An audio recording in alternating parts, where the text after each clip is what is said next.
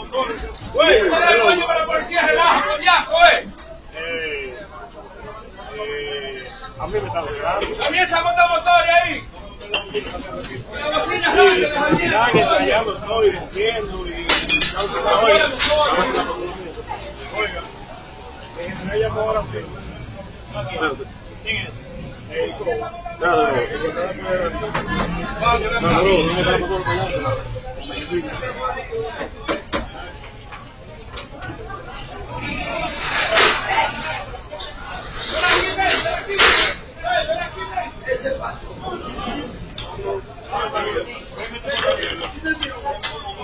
Saludos mi gente. Estoy haciendo este video porque lo voy a hacer público para que ustedes vean cómo es que están trabajando la policía.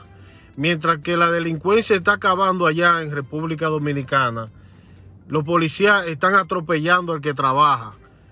Eh, al negocio mío que tengo allá en Santo Domingo, un bar, fue un señor, un coronel, eh, a cerrarme estando dentro del horario. El negocio está dentro del horario eh, que está implantado eh, y fue y nos cerró el negocio de mala manera. Yo les voy a enseñar el video para que ustedes vean cómo es que la policía está trabajando allá. Que esa no es la actitud, señores. Si, si la persona va y nos pide por favor que cierren el negocio o cierren el negocio, que ustedes están fuera del horario, estando dentro del horario, el negocio nunca estaba fuera del horario. La música también estaba bajita.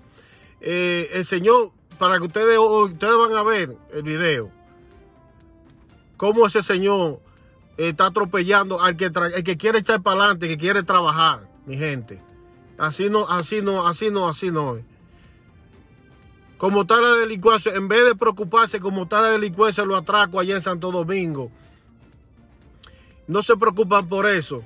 Y mira lo que, mira lo que están haciendo. Perdí, eh, me, me llevan la bocina, me llevan silla, eh, perdí muchísimas cuentas que se me fueron sin pagar. Entonces, díganme ustedes, ¿cómo uno puede seguir trabajando en Santo Domingo? Si, si a los delincuentes no le hacen nada y al que está trabajando es que la, la- la ley quiere machucar.